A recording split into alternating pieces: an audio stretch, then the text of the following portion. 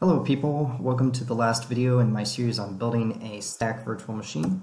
If you remember last time uh, we were going to finish working on the stack VM main file. So we're going to open up uh, main.cpp and right now it has a uh, built-in program.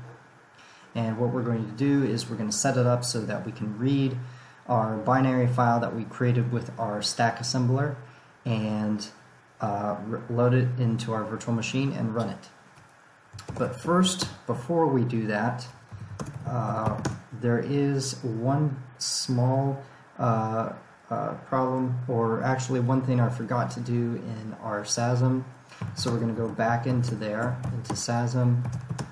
We're going to open up our uh, sasm.cpp file. And we're going to go down to our compile to instructions. And what we're going to do is at the very end uh, uh, before we return our instructions is we're going to add we're going to add the halt instruction at the end so we can always halt our program at the end. And our uh, code for that will be 4 uh, and 0, basically 0 at the end.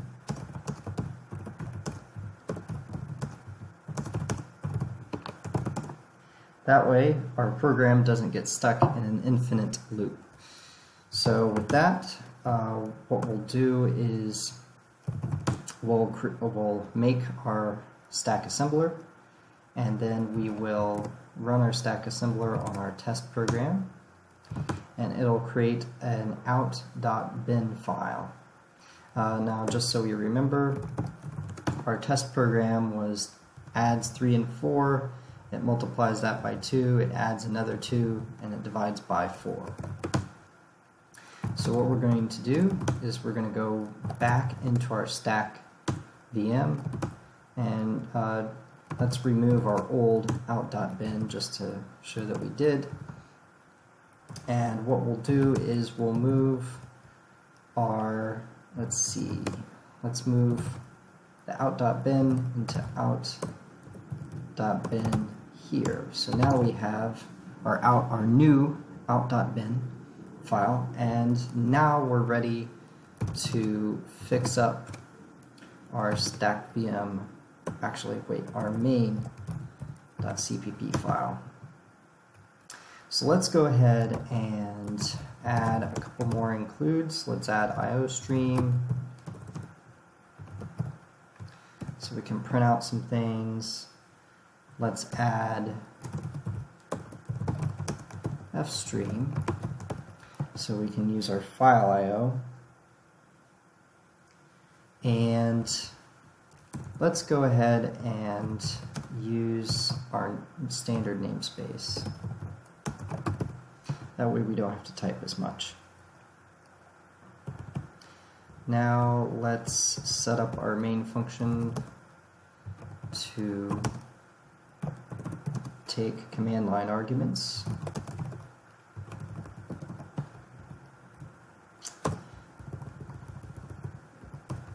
Now let's go ahead and check our command line argument sizes. If it if we have less than two arguments, then let's display a message to the user, a usage message. And let's say they need to type in the name of the program file name.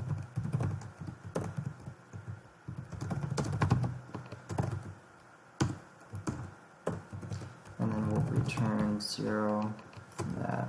Oops.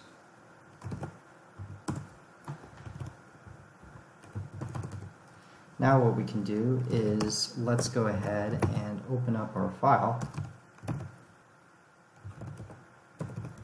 Now that we know that we have correct number of arguments. Let's open it up as a binary file. And what we're going to do is we're going to read in um, we're going to read in integers from our file. And let's see, let's create a vector, actually we can just say a vector now 32-bit integers. We'll call it our program. And what we'll do is while we can still read an integer and we're going to read size of integer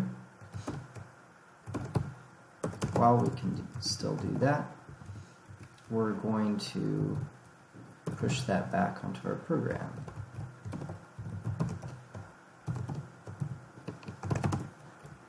now we don't need this anymore so now we've loaded our program from memory or from a file. We've loaded it into our memory through our load program function, and then we can run our program. So let's go ahead and save that and make our stack VM, and let's try to run it with our out.binary file. So let's take a look here. So we push 3 and 4 to the stack. We add 3 and 4 and we get 7. We push 2 to the stack. We multiply that and get 14.